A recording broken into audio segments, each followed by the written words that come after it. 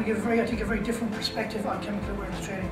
I think you'll enjoy the presentation. I think you'll see ChemStore's um, much broader and wider approach to um, having employees and, and your, everyone on site trained properly and aware from chemical handling right up to emergency response to uh, first aid. So, uh, Tom.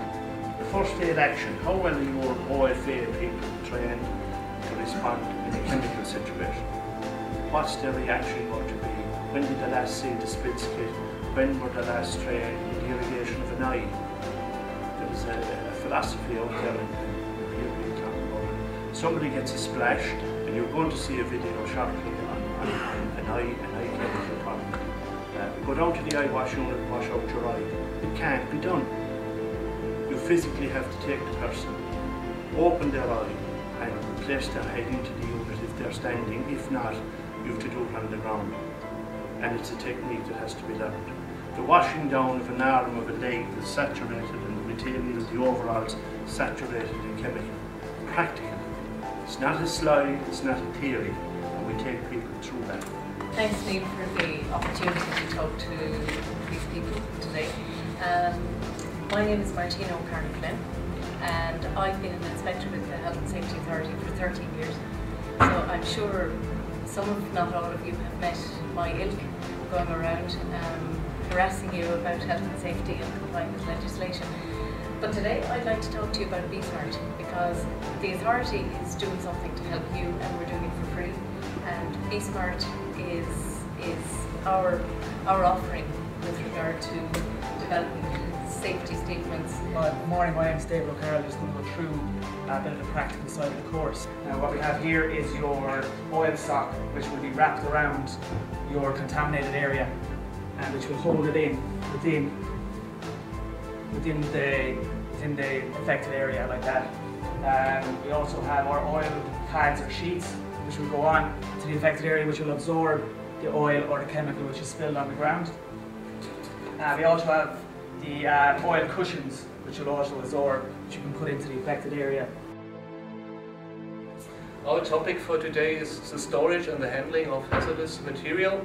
And as he said, our cabinets are used often in laboratories, but remember, hazardous stuff, it's always the same. If you're working in a lab or in an industrial site or even at home, yeah, it has, it's the same dangers even in lab or industrial site.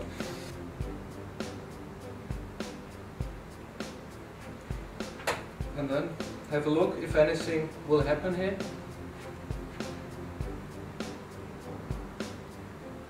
It does.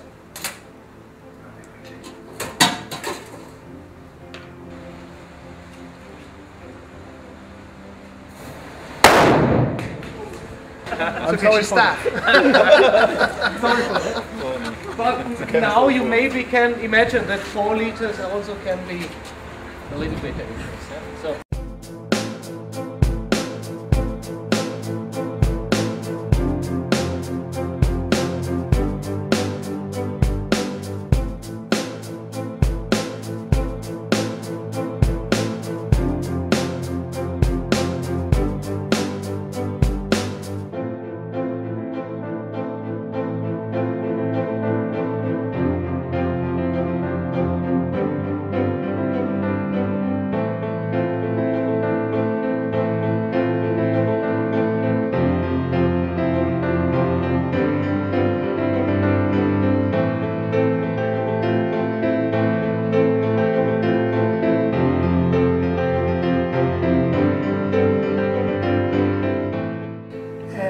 Certainly be in touch with you over the next number of weeks to see if you do have a requirement for a site visit or a site audit and we certainly help where, where we can and recommend certain solutions, whether it be training, product or associated products. So we're delighted you came along and um, safe home and thank you.